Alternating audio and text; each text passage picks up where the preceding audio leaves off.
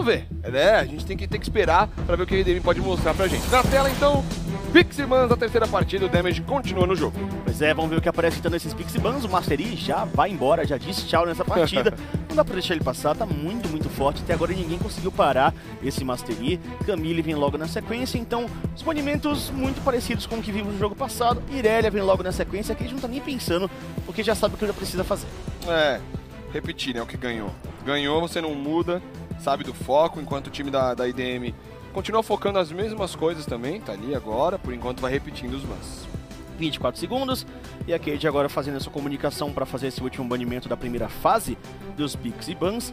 O que será que eles vão focar ali? Lembrando que, claro, a primeira escolha é da equipe da Cade, mas a volta é dupla para a IDM, então tem que pensar muito bem nas possibilidades disponíveis, porque o retorno pode definir o jogo. A Cade repetiu os seus bans e a IDM mudou. Não baniu a Zoe e baniu o Nocturne agora. Pois é, o Nocturne veio muito, muito forte nesse momento. As duas, as duas partidas, Xixinha, basicamente tiveram uma alta definição durante os Pixie Bans. Não é dizer que era impossível de algo acontecer dentro do jogo para uma reviravolta, claro que não. Mas esses Pixie Bans foram realmente muito, muito influentes, como sempre são mas no jogo de número 1, a IDM com Master e Terk conseguiram fazer isso muito bem, e no jogo 2, esse Nocturne, juntamente ali com toda a composição, a chegada do galho, aquela maneira de, como você mesmo comentou durante o jogo, né, os cinco jogadores piscarem o olho e estarem na rota, definiu tudo, né? Sim, é, é, você vê o Draft e fala, beleza, eu sei como jogar contra, eu sei o que eles vão fazer. Mas você parar isso, executar ali é, é bem complicado, né? Como a gente sabia que o Terry e o Master iam fazer e sabia que a composição da Cade ia fazer na partida passada. A Zoe, que não foi banida pela IDM nesse terceiro jogo, foi banida no 1 e 2, passou e a IDM já pegou. Então o Zoe como a primeira escolha aí pro lado da IDM, enquanto o Brown já tinha sido a escolha da Vivo Cade. Ainda tem mais alguns segundos. Carioca agora fazer a segunda escolha da ID. É bem provável que a Cade faça de novo um funilamento de recursos, você eles tiram o Graves.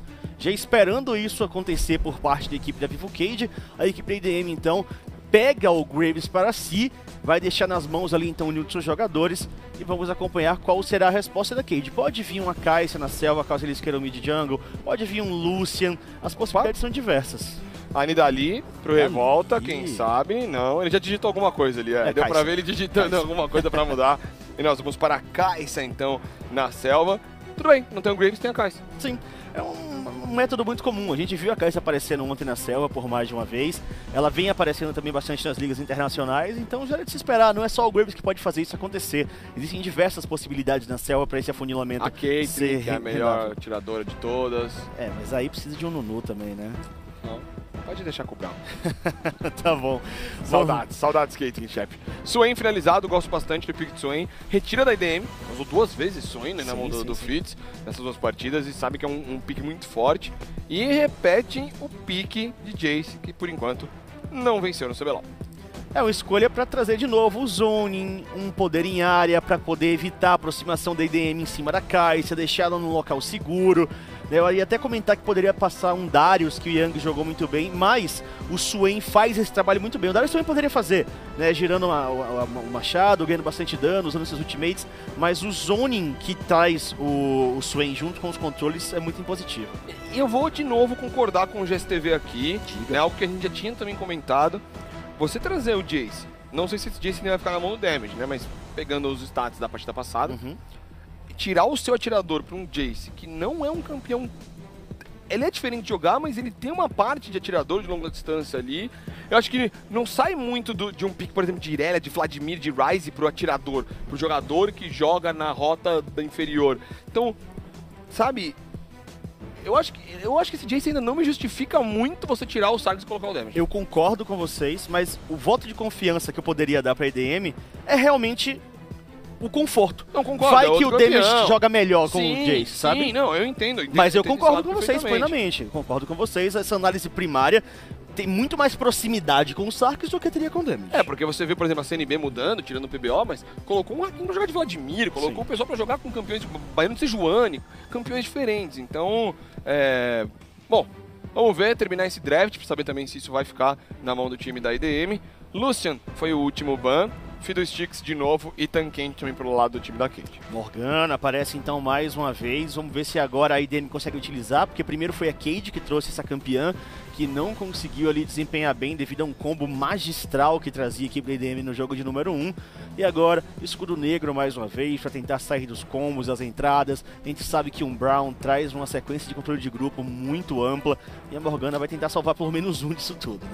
Interessante que o Rakan foi tão bom na primeira partida, né? Acabou, acabou jogando muito bem com ele e sumiu, né? Tá passando aí, segundo pois jogo, é. terceiro jogo, o pessoal vai ignorando, né? O Rakan e vai deixando ele, ele passar na partida.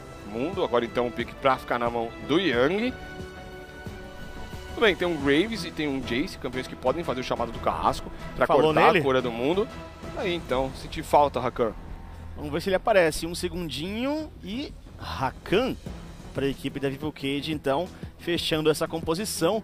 Mundo e Swain como linha de frente, como ofensiva para parar avanços em cima da Kai'Sa e dar liberdade para ela. Rakan e Brown para potencializar a campeã, deixar em segurança e conseguir então fazer com que isso funcione da melhor maneira possível. Interessantíssima a composição da equipe da Vivo Cage. Será que tem Pyke por parte da IDM? Ó, oh, vamos ver. Já tem a Morgana Atrox. ali, né? Difícil.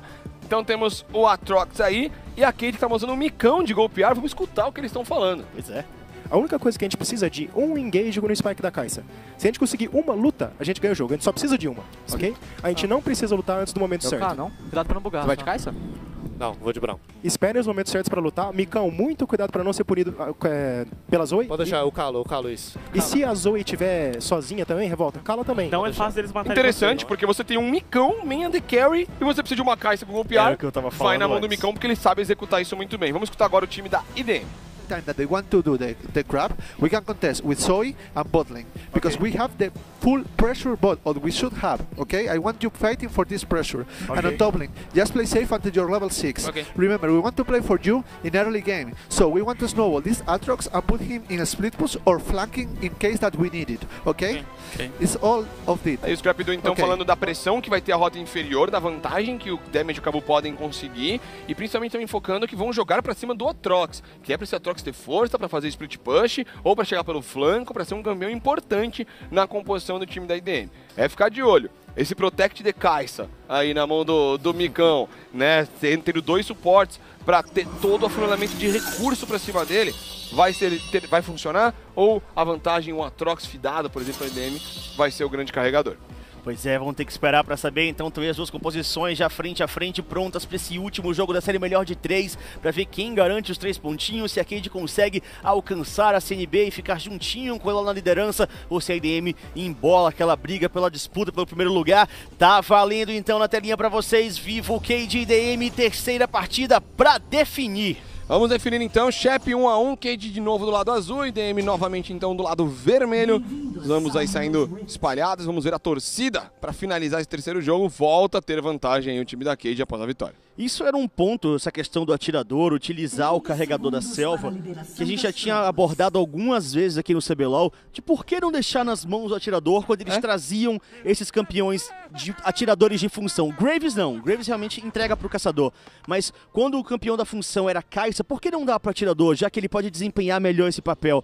E as equipes não estavam fazendo isso, a gente viu Minerva trazer esse campeão, né, escolha de jogadores da selva, e agora a Cade coloca o Miko nessa função. Muito se pode também atribuir ao poder do golpear. Se você não está muito acostumado, essa mecânica do golpear pode comprometer um jogo. Ontem roubou, tava de, gol, tava de mastery com golpear. Não é um, um, jogador acostumado a estar com golpear, acostumado a estar com a disputar, né, barão, dragão, esses grandes objetivos. Por mais que seja um jogador de altíssimo nível, todos aqui são, que sabem o momento de dar o golpear, etc. Você não é, não é a mesma mecânica, não é o mesmo time. Então acho que esse pode ser, acho que, o principal ponto de você ainda focar esses campeões na mão do jogador que vai ter o golpear, que seria o, o caçador de ofício. Mas a Cade decidiu colocar na mão do Micão e o Revolta vai ser suporte pro Micão aí. Perfeito, vamos ver então como é que vai ser o desempenho ali do Micão com essa função de selva, mas claro, ainda é o carregador, ainda é uma função de atirador primário, ele vai, ser os, vai ter os recursos. É um jogador que a Cade gosta de confiar bastante. É, vamos ver se ele consegue então atingir o seu ápice e a IDM então aposta na composição com bastante dano, com diversas fontes de referência, a Trox para fortalecer. É uma Zoe, não precisa nem falar muita coisa, ela por si só fica muito forte com poder de explosão, grande zoning com a bolha do soninho, vai ter a ligação das trevas também. A IDM também tem uma força de teamfight muito boa. Sim, qualquer pequeno controle de grupo, né? A bolha do soninho com a ligação das trevas pode ser muito forte. Cabu toma muito dano, eles pegam o level 2. A ligação não é atendida ali pelo Joxer, consegue desviar muito bem, mas o Tokyo vai tendo dificuldades para farmar nesse começo. 4 minions farmados por ele contra 12 já do damage pegou as duas ondas de minions. Pois é, tá conseguindo fazer um bom início de partida por ali o Damage, colocando essa pressão na rota inferior, enquanto que o Carioca vai sendo traqueado, tinha uma boa sentinela da equipe da Cage, ele tenta invadir ali a selva da equipe adversária, para tentar tirar o máximo de recursos possíveis desse duo aí do Bicão e do Revolta, tinham as Aquamnias, então o Carioca vai conseguindo sim dar uma atrasada, hum, é. deu uma reservada. A reservada que ele não queria ali, né, mas agora vai voltar a finalizar essas Aquamnias, utilizando suas habilidades. É um combo de Brown com Kai'Sa é muito forte, né? A passiva da Kai'Sa, a passiva do Brown, os dois estacando, né? Garantindo bastante bônus de dano aí pra cima dos adversários. Lá na rota superior, Yang vai conseguindo pressionar 20 minions farmados contra 9 do Fitz. Foi comentado também quando a gente ouviu, quando o áudio estava aberto, Damage. Olha, indo pra cima do Toker, tem já em cima do Damage, Jox na perseguição, pode virar pra cima dele, o Carioca tá por lá, por isso mesmo, cria coragem aqui pro pra continuar indo pra cima do Joxer. Traz agora com Nunca Mova por muito pouco, 30 de vida, sobe de nível na hora certa, recupera essa vida e por isso ele ainda está de pé. E o escudo negro da Morgana tancando esse dano, ataque mágico, né, o dano de poder de habilidade ali do Micão. E com isso, com ataque mágico no caso, acaba segurando o dano, o escudo negro do Cabo. Sai muito bem o damage com 25 de vida quando eu olhei ali. Não sei se estava com menos ainda. Então, ótimo trabalho de disengage do time da IDM. Mas principalmente o Jockster e o Talkers ali segurando o máximo possível para não serem eliminados e quase pegando First Blood. E um ótimo trabalho do Carioca também, que invadiu bastante a selva da Cade, tirou os Gromp, tirou os Krugs, na verdade, tirou as Aquamias, então dá uma atrasada na vida do Micão, mas claro, ele também tem o farm da rota no meio, então não é tão prejudicial assim. Vamos ver se ele vai conseguir algum tipo de invasão também em direção à selva da equipe adversária, mas por enquanto ele é bem concentrado em pegar sua selva e fazer a rota para potencializar esse crescimento. É, o Micão já tá com 41 minions farmados. Né? Ele farma a selva, farma a rota do meio, é muita coisa para ele. Então ele consegue recurso muito rápido no jogo e com isso garante o dano que ele precisa cedo na partida para acelerar o jogo da Caixa. Mas a IDM vem abrindo uma boa vantagem no ouro global. Aí, né, a Zoe muito bem é, farmada, o, o Atrox no top também muito bem farmado. Lembrando que são dois campeões da Kate que não farmam, né? São, é, tanto o Brown quanto o Rakan, eles não pegam tanto recurso assim. Pois é, vão tentar alocar o máximo possível ali para seus companheiros diretos, né? O Tokers com o seu Swain e o Micão com a sua caixa para garantir esse crescimento e a equipe da Cade ficar em segurança, muita pressão na parte de baixo. O Damage vai conseguindo conectar muito bem o Jace, mostrando que ele tem um bom entendimento do campeão, o tempo inteiro deixando essa rota inferior da equipe da Cade com a vida na metade, então é difícil eles tentarem fazer qualquer tipo de engage. É, o Talkers vai tentar dar o seu recall, ele tem teleporte, mas foi atrapalhado ali pelo Cabu, né, então não conseguiu. O Talkers não vem conseguindo farmar bem, 25, por comparar contra o Damage, né, 25 a 39 ali, então bem atrás, bem mal o Talkers no quesito farm, situação da rota complicada, o que já foi dito também pelo próprio time da IDM, que eles têm essa prioridade, eles têm como empurrar, então eles vão, vão empurrando, vão ajudando nisso. Então invade, rouba a selva também ali do, do Carioca, o Carioca tenta fazer a mesma coisa, tirando as Aquâminas, esse trabalho esse trabalho tático entre os caçadores de sempre tentar aparecer pela, pela selva adversária e roubar o máximo possível. É, o Micão já tem nível 6, inclusive, ele vai sozinho, pega as experiências. Olha agora o Carioca. Nível 5, mas se ele passar por essa parede, ele vai ser visto. Vem descendo a equipe da IDM, 4 jogadores na parte de baixo. A Cade sabe disso. O jogo tá com quase nada de vida. Vão pra cima dele pra garantir essa eliminação. Eles querem o First Blood, já é conquistado. E olha a sequência agora. A IDM com um belíssimo dive pra dois abates. Dessa vez a comp da Cade não tinha um monte de teleportes ou muitas de pessoas com ultimates pra chegar e atrapalhar esse dive do time da IDM. Muito bem controlado. Eles garantem os dois primeiros abates do jogo e a primeira torre. Muito ouro à frente, a IDM acelera. Já que a vai ficar de mãos dadas com o Brown, joga distante dela, joga longe dela cria dives, cria jogadas e ganha os objetivos. Ótima jogada da IDM. Primeira vez que a Cade não tem o First Blood, então. Boa, muito boa, Chá. Tá aí então já a equipe da IDM quebrando esse ritmo, mostrando uma boa evolução. E agora as esperanças é fazer o crescimento do Micão acontecer. Tá o replay, né? O Cabo não acertou a ligação das trevas, mas já não tinha tanta vida, morre rápido ali, né? O Rakan pro damage, depois o Cabu com o incendiário e o combo da poça ali também garante o seu abate. Então, bem controlada pelo time da IDM esse dive.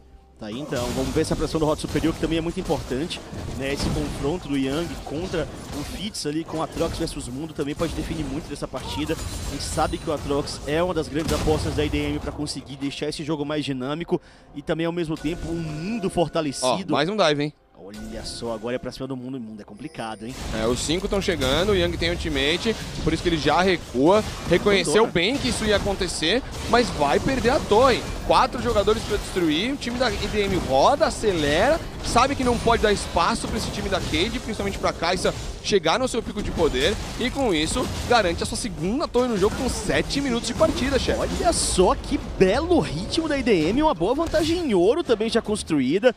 Vão conseguindo se fortalecer bastante, a pressão vai sendo aplicada no mapa. A IDM vai conseguindo ali, por enquanto, sobrepujar uma dessas composições de mid jungle que até agora não foram derrotadas aqui no CBLOL. É, e tem aquele ponto negativo de você destruir essas torres muito rápido. Né? O que você vai fazer agora? Essas rotas vão estar bem avançadas. Sim, sim. Né? Você vai estar todo mundo lá pra frente. Você vai dar mais espaço pro Yang farmar. Você vai dar mais espaço pro Talkers e pro Joxer conseguirem farmar, enquanto você está unida, andando com uma equipe. Tem a Tier 1 da rota no meio para ser o foco agora. Mesmo assim, é... Opa, Olha só! Que dano é esse, meu amigo? Cabuloso! E o abate é convertido pro N. A IDM não para, vai disparando, vai conquistando recursos. A Cade não tá forte o suficiente ainda pra dar combate, por isso seu mapa vai sendo devastado. Provavelmente possa perder agora essa última torre Tier 1. A IDM com força máxima. É, em 8 para 9 minutos de partida, a IDM vai conseguir as três primeiras torres.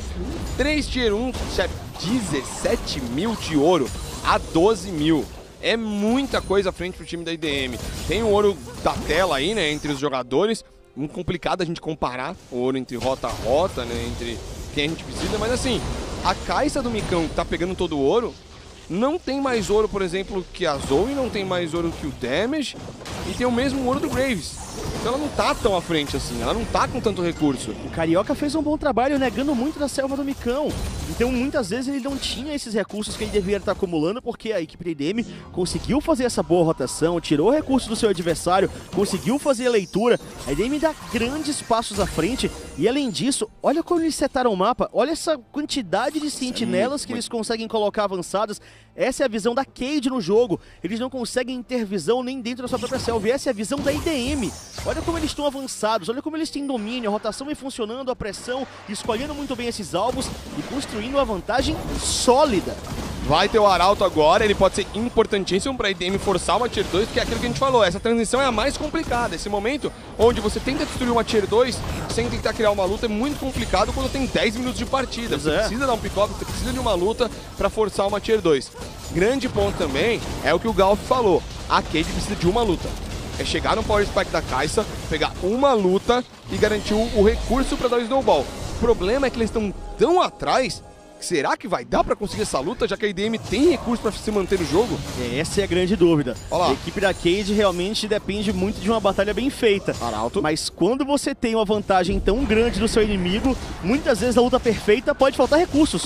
Pode não ter dano, pode não Vai ter o cair, que chefe. precisa. E essa torre já tá garantida. Nota que ela tá no chão. E a IDM pode até tentar chegar na T3, hein? E eu achei que a IDM ia ter um pouco de dificuldade, eles não perderam o ritmo. Pegaram o Arauto, se juntaram na rota superior, são cinco jogadores ali. Chegou. O Arauto já tá preparado pra dar a segunda cabeçada lá na Tier 3, metade da vida da torre. A IDM pressiona demais a Vivo Cade em 11 minutos. Que fantástico, meus amigos, a IDM sufocando a Cade.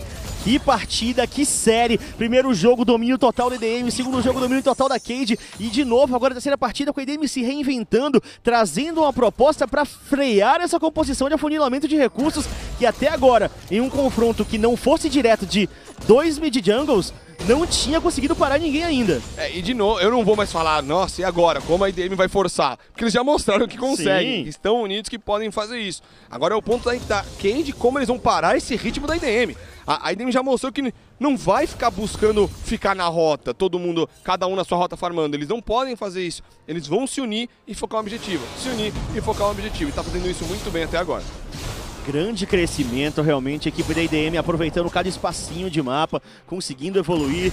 Carioca numa bela partida, com grande movimentação, uma visão avançada de mapa, tendo sempre a cobertura da sua equipe, dives fantásticos por parte da IDM. A Cade, como ficou atrás, não tinha recursos para lidar com tudo isso e acabou ficando acuada diversas vezes, não tinha condições de lutar. Se ficasse na torre, além de ceder o objetivo, ia ceder mais abates, e aí seria realmente um caminho sem volta.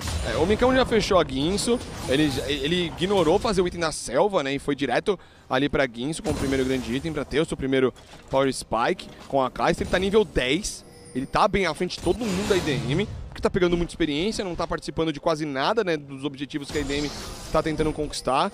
Então um bom trabalho por parte do Micão em crescer. Mas é que a Kay tem que tentar usar, usar isso, e a IDM não vai deixar. Ó. Já são 3, 4 jogadores da rota inferior e o Fitz sem teleporte. Pois é, momento complicado para a equipe da Cade, momento agora da equipe da IDM se provar, porque tinha um arauto antes, aí era fácil. Agora para tentar chegar nessa torre num confronto direto pode dar problema. A Cade se defendeu, Revolta perde metade da vida nessa brincadeira com um simples combo por parte do N e vem chegando mais pressão. Já cai a redenção, eles continuam na evolução e não precisam de arauto não, ao que parece. Acerta a bolha do Soninho, vai disparar para cima do Yang, acaba não conseguindo fazer ali o combo perfeito, o N, e mesmo assim a torre vai sendo brutalmente alvejada, ligação das trevas. Olha o combo sensacional, inquebrável, Salvador Ticano incendiar!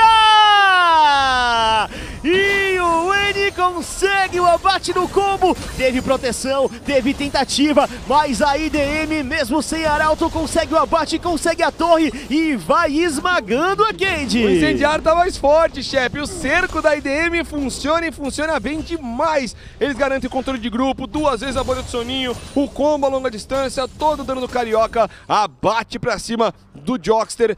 Olha, do, do Revolta, já a segunda vez que ele é eliminado, 4 a 0 pro time da IDM, 5 torres a 0 em 14 minutos de partida, 26 mil contra 19 mil de ouro, chefe. É muita vantagem pra IDM. Como eles aceleraram esse jogo? Meu Deus do céu. Isso não é um atropelo, eu não sei mais o que é, Tichinha, porque realmente, que jogo da IDM, que visão, que tomada de decisão, a maneira como eles estão manipulando cada aspecto dessa partida, os pushes, a fase de rotas, a maneira como eles negaram o crescimento do Micão, com toda a rotação inicial do Carioca, a pressão lateral que o N ajudou ele a colocar, a visão espalhada pelo jogo, isso tudo em conjunto foi o triunfo uniram de novo, eles conseguiram. Tá aí, ó, se uniram mais uma vez, trazem uma onda de minions dupla, a equipe da Cade recebe uma quantidade de poke surreal e meu amigo, o Revolta pode ser eliminado, já perde muita vida, não só ele, a Cade inteira, antes deles conseguirem fazer qualquer tipo de jogada de defesa, eles recebem tanta pressão, tanto poke, é disparo chocante, ligação das trevas, bolha do soninho, estrela da Zoe o tempo inteiro, Será? e não tem como eles fazerem uma defesa, a IDM não tem por que parar, porque se a Cade voltar pra mais uma defesa, é só repetir de novo o poke. Esse cerco é absurdo. O time da IDM vai destruir a Tier 3 em 15 minutos. São 7 torres a 0. A Vivo Cade não clica. Tentativa de entrada agora do Joker pra jogada. Evaporam rapidamente jogadores de cada lado. Tem um abate pra cada lado agora por enquanto, mesmo assim. Recuo. A IDM consegue, perde o Cabu, conquista o Joxer e fica nessa. Tá, tudo bem, trocou suporte por suporte, abate por abate. A Cade protege seu inibidor pra não ser destruído, porque tem que lutar, senão vai caindo tudo. Vai caindo, a Sim. IDM não vai parar de focar essas torres. Mas, chefe, 5 a 1 7 torres a 0 30 mil de ouro. São 9 mil aí à frente já o time da IDM. É muita coisa, a gente vai ver o replay da jogada que começou lá na rota inferior, desse cerco, né? Muito forte. E todo o combo do damage, do N, é, todo mundo tentando iniciar, todo mundo tentando dar seu combo. É, ótima ligação das trevas, trava a iniciação que ia acontecer né, do, do Joxer e o incendiar. Fortíssimo esse incendiar, queimando ali a vida do Revolta. Pois é, conseguindo mais uma progressão. Então, status total da partida, Tichinha. A IDM limpou o topo, limpou o meio, limpou a rota inferior, abriu espaço na base da Cade, inibidor exposto. O Barão nem tá vivo, faltam 4 minutos pra ele chegar. Vai conquistar agora o seu primeiro dragão, porque o primeiro do jogo foi da Cade há pouco tempo atrás. Cage não tem recursos, não tem como batalhar, são quase 10 mil de ouro à frente. A IDM parece que achou a chave pra parar a composição que aterroriza o mundo. É, o, o Micão não deu um ultimate no jogo, ainda não jogou, né? O Young não jogou, não conseguiu realmente jogar. O Tokers também não tô, não foi atrás, não jogou, então tá muito complicado pro time da, da Vivo Cage jogar essa partida. A IDM falou, beleza, vocês querem fazer esse Protect the Kais aí, ou joga, concentra recursos em cima da Kais, vai farmar selva e gankar, farmar selva e gankar, você vai tentar gankar, mas vai estar tá todo mundo junto. A IDM falou, não vamos fazer rota, vamos se unir. Só isso, joga todo mundo junto desde o começo e foca as torres, e eles conseguiram. Que era um dos grandes pontos que estavam sendo cogitados. A maneira de parar tudo isso é acelerando. E aceleração é aí, amigo, porque 17 minutos com isso tudo conquistado, realmente foi devido a esse jogo em equipe e a dinâmica que a IDM colocou. Então, realmente, a proposta de aceleração de partida vem funcionando bastante para parar a proposta da equipe da Cade e a IDM vai avançando cada vez mais, em profundidade. É, o Fitz farmou bem, chegou bem por bastante tempo ali na rota superior, ele já fechou até o chamado do Carrasco para ter trocas melhores ali contra, contra o Yang e conseguir quebrar um pouco da cura, né, da regeneração de vida, tanto dele quanto do Tokers, importante, né, você colocar as feridas ali em cima do mundo e do Swain. A Cade vai tendo que se segurar, a IDM não espera o momento, não tem mais torre, então vai tentar essa iniciação. O Joker tenta usar do flanco e quase que o Revolta é pego de novo. Pois é, o Joxer está pelo lateral, tem uma boa sentinela avançada ali, o Cabo vai ter essa visão agora, sabe da presença do Joxer, sai muito bem com a entrada triunfal da ligação das trevas, a EDM vem pela rota do meio, enquanto que lá em cima o Fix estava conduzindo os minions para chegar em mais um AT3, e a EDM vai com a força que eles têm agora, os itens a mais, olha Meu. esse dano, amigos! Abate confirmado, Tokers eliminado, o inibidor vem pro chão, não tem defesa pra equipe da Cade, são super minions pela rota no meio, o voo sombrio levantando o time inteiro, pressão total, a Cade vai sendo obliterada um após o outro, não tem escapatória, somente os jogadores vivos, o revolta vai ser abatido, double kill para o N, sobrou somente o Yang, é um stomp clássico, um atropelo, a IDM domina, elimina e vem para tentar garantir a vitória com o Nexus exposto, a IDM é mitológica! O Dockers tenta salvar a sua equipe, mas é muito complicado. Fitz acabou sem vida. Quadra kill, chefe. Quadra kill do Dockers. Será que ele consegue uma batida lá? Pentakill O Dockers defende, salva a Cade de um dos maiores stomps da história do CBLOL, garantindo um pentakill na sua defesa. Faltou vida, faltou dano, mas a IDM tem tudo encaminhado para vencer essa partida. Nexus quase destruído e a IDM atropelando o time da Cade. O Tokers estraga a festa da IDM no último segundo, salva a equipe da Cade, garante um pentakill em um jogo que estava praticamente ganho, mas a equipe da Cade respira. Ali, todo mundo com pouca vida, ainda o mundo né, do Yang tentou atrapalhar, tentou ajudar. Chega o Tokers, ele dá um bom flash, utiliza todas as suas habilidades, garante um quadra kill. Todo mundo meio que ignorando. Aí o Cabu sobrou. Olha a vida do. Nossa, o Cabu foi travado pelos Minions. O Cabu não conseguiu passar para dar mais um ataque, ele foi travado pelos Minions. O Joxer tentou roubar na tentou, cara tentou, dura, tentou, ele meteu incendiar na Morgana com meio de vida. Mas no fim das contas, o Tokens garante o pentakill, salva a equipe da Cade. E a IDM agora tem mais um push. Claro, um penta é importantíssimo pro Tokens garantir muitos recursos, mas mesmo assim tinha, tá muito na frente. É, é aquele penta.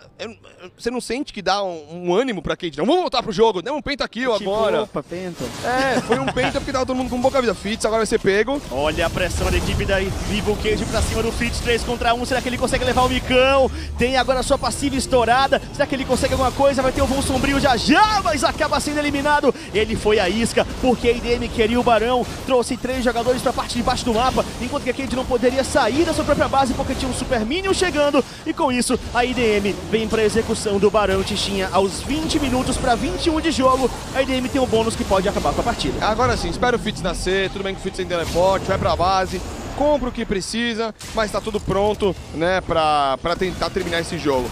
Se a IDM quiser, eles podem ignorar tudo, focar na rota do meio e focar o Nexus. Mas jogar pelo mais seguro, né, chefe? Continuar focando as torres, tentar levar ainda mais inibidores e colocar mais super na partida para dificultar ainda mais a vida da Cade. Tá aí então, pressão total da equipe da IDM. O Fitz volta em dois segundinhos e tem teleportar disponível. É pra tentar fechar o jogo agora. A IDM já mostrou a luta muito bem feita nessa última entrada. A Cade resistiu como dava, renascendo nos mortos praticamente, realizando um milagre. Com o pentakill do Tokers pra tentar segurar, mas mesmo assim é muito complicado repetir esse feito, Dichinha. O cerco é muito forte, a torre vai abaixo, mais um tiro do Minion Canhão. Tá aí, cai o Fitz. Já chegou na rota do meio com o teleporte. Vai empurrando os Minions, ele não tem o bônus do Barão, né? Ele tava morto, então por isso os Minions não são ali bonificados. Tokers toma um pouco de dano. Bolha de soninho não pega, o foco no inibidor. Pois é, total em cima dele. Apesar de não ter o bônus do Barão do Fix no meio, são super minions naturais do inibidor, então já vão dar problema. Então vem chegando agora uma próxima leva e esses vão ser bonificados. E aí pode complicar. Mas antes disso, parece que eles querem levar até a parte inferior também. Mas tá É. muito atrás a onda. A IDM não precisa terminar esse jogo rápido pra mostrar que foi um stomp, um passeio e tudo Sim. mais. Vai, vai, vai pela calma, né? Controlou a torre da rota do meio, aí controlou a rota superior, agora controla a rota inferior e vai aumentando ainda mais sua vantagem. São 10 torres a zero, 12 mil de ouro. Teve o penta do Tokers, mas é um penta que tá ganhando tempo, só tá Sim. segurando um espaço. Devin foi pra base, vai comprar e tem teleporte. Já tá voltando, já tá voltando então. Ele deu aqui atrás, em vez de tentar fazer lá na frente. Ele tinha o medo também de já cair sendo eliminado no meio de toda a equipe da Cage. Então vai pela segurança. A torre já vem pro chão. Não precisa forçar muito. Não tem mais torre de três. E olha o dano chegando! O Micão elimina o Cabu, mas tem eliminação também em cima do Joxer, um a menos pra cada lado. A IDM vai avançando, o Nexus está exposto. Não existem mais torres de proteção no jogo a favor da equipe da Cage. A IDM quer acabar com a partida agora, com exibição de gala sensacional, do início ao fim, pressionando e manipulando o jogo. A equipe da IDM agora vem pra tentar fechar. A Cage se fecha como pode, tentando a defesa final. A IDM ainda na pressão. A IDM destruiu tudo, tudo, não tem mais nada. Volta o inibidor da rota do meio agora pra segurar um pouco, tentar salvar a vida da Cade. O Yang e o Tolly vai pra cima. Vai tentar agora fazer esse zone e isolar um pouco a equipe da IDM pra ganhar tempo desse inibidor continuar de pé. Mesmo assim, voo sombrio já indo pra cima. É o engage total da IDM. Resposta da equipe da Vivo Cage. Eliminação em cima do Micão. Não tem mais a linha de frente. Mesmo assim, o dano ainda continua. Neutralização em cima do Tokers. Revolta eliminado. Sobrou somente o Yang. E a IDM vem para a vitória em uma exibição que entra pra história. A IDM acaba com a Vivo Cade, um dos maiores stomps da história do CBLOL e garante mais três pontos dessa terceira rodada. IDM, como eu disse antes, mitológica. Que jogo, que exibição, que momento da equipe da IDM de conseguir uma vitória tão bem estruturada, Tichinha. Chefe, que aula. Que aula, que aula. Que aula é, de como sair de uma tática onde todo mundo achou que não ia ter muito como sair. A Cade ficou perdidinha. A Cade não sabia como devolver a agressão de a todo instante ter 4, 5 jogadores numa torre. Desde os primeiros minutos, né? Caiu 7 torres em 15 minutos. Que isso? Realmente É é. modo treino? Não é. Realmente não, não dava pra entender. Né? E a gente vive um momento que, claro, os jogos estão acelerados, a gente muito fala Nossa. disso, mas Esse mesmo tava assim, turbo, né? Tava- É, tava muito além disso, muito além de velocidade. Né? 2018, segundo split do CBLOL, e o jogo quase terminou antes dos 20 minutos. Sim. Vamos acompanhar tudo de novo porque merece, foi uma aula da IDM. Melhores momentos da telinha pra vocês então, pra entender esse 2 a 1 Difícil a gente ver os jo- jogos terminarem com 18, 19, né? Sim. 16 minutos nessa faixa de tempo. E, e tudo começou já nessa primeira rotação, onde a IDM pega dois jogadores e já vai destruir a primeira torre, 6 minutos. Né? E daí eles invertem, vão pra rota superior pra destruir a segunda torre. Pois é. E aí depois, em sequência, invertem, vão pra rota do meio pra destruir a terceira torre. 15 minutos, Tichinha. É. Seis torres do chão, sétima agora. Tre- 15 minutos, porque, é, porque eu tinha comentado, Fantástico. então foi, foi fantástico a velocidade. Aí o time da Cade vai conseguir o primeiro abate deles do jogo e só, né? Até aí só. Porque a IDM vai de novo se unir, usar o poke, esse cerco era muito forte, sempre eliminavam alguém, destrói o inibidor da roda do meio, eles vão até partir pro topo pra tentar destruir a torre, mas decidem lutar. Quando eles veem todo mundo juntinhos ali, eles vão lutar. E aí é a luta pra terminar o jogo. Eles conseguem fazer essa entrada, limpam todo mundo, eles ficam bastante recuados. Só o Yang sobrevive, né? O mundo vai até longe ali, o Eni pra garantir a eliminação em cima do Revolta. Mas e aí, pra mim, o jogo tinha acabado. Pra Eu mim, vi. nesse momento, o jogo tava finalizado. Dei a cal do fim, mas chegou o Tokers ali, o Imperador de Noxus com o seu Swain, pra fazer um pentakill milagroso e salvar a Cage durante alguns minutinhos a mais. O jogo ia terminar com 19 minutos de partida. Saiu o seu peito e você quase nem narrou. Não é? Imagina. Quase. Obrigado aí, a IDM, por não ter finalizado esse jogo nesse momento. E o Tokens garantiu o pentakill pra dar um respiro a mais pra equipe da Cade. E aí foi, é, foi tempo, sabe? O Tokers ganhou tempo de não, extra- de não entrar na estatística um jogo terminar com 18 minutos. Sim. Foi isso. Né, que o Tokers deu pro time da Vivo Cage ali, que senão ia ficar pra história um jogo Pois de é. 18 minutos ali a favor do time da IDM. Depois a IDM só se uniu e aí forçou e ganhou a luta.